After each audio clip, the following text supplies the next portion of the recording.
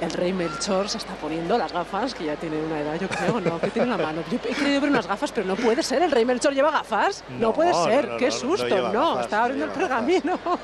Me había parecido ver unas gafas, pero no. Algo, está hablando con el rey Baltasar ahora, algo se están diciendo. Ya vamos. A ver qué dice. Prueba sonido, le da el micro. No estoy muy acostumbrado a estas cosas modernas, pero en fin, haré lo que pueda.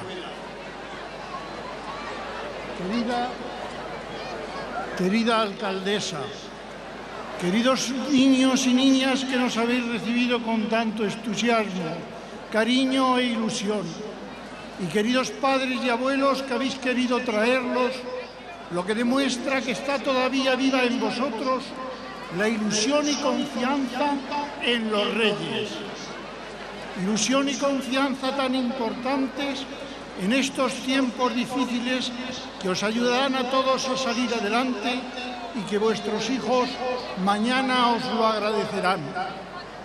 Al llegar un año más a esta preciosa ciudad de Madrid y al terminar nuestro recorrido nos hemos encontrado con una gratísima novedad y por qué no decirlo sorpresa, al estar dirigiéndonos hasta ante esta hermosísima fachada del nuevo Ayuntamiento de Madrid a una alcaldesa que según me han soplado antes de empezar mi alocución, es la primera alcaldesa que ha tenido esta querida ciudad en toda su historia. Queremos deciros, niños y niñas de Madrid, porque sabemos que habéis venido de todos los barrios de Madrid, que hemos recibido todas vuestras cartas, que hemos abierto y leído todas ellas y que, como sabemos que habéis sido todos muy buenos, bueno, algunos un poquillo traviesos, pero no malos, dentro de unas horas, cuando estéis todos durmiendo, repartiremos los juguetes y regalos por todos los rincones de Madrid.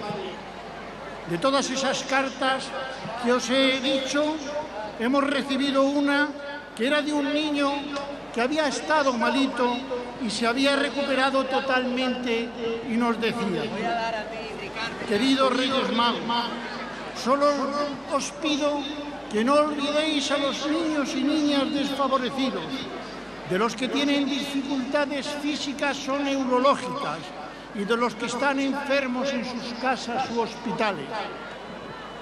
Estamos seguros de que ellos nos estarán viendo por televisión y que no les faltará nuestro afecto, cariño y cercanía, asegurándoles que tendrán los regalos que hayan pedido y que hace unos días, guiados, cuando guiados por la estrella, llegamos a Belén para adorar al niño Jesús, sus padres, María y José, nos indicaron que con toda seguridad lo que más agradaría al niño Dios es que fuéramos generosos y magnánimos con los más necesitados.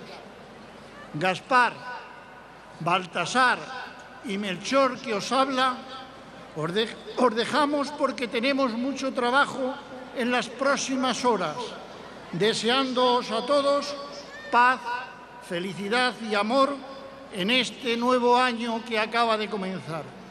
Gracias a los que habéis venido a recibirnos y muchos besos para todos los niños y niñas. El mensaje en directo de Su Majestad el Rey Melchor en nombre de los tres Reyes Magos. Y nosotros tenemos que ir poniendo punto y final a esta retransmisión. Chicos, ¿nos habéis traído los caramelos?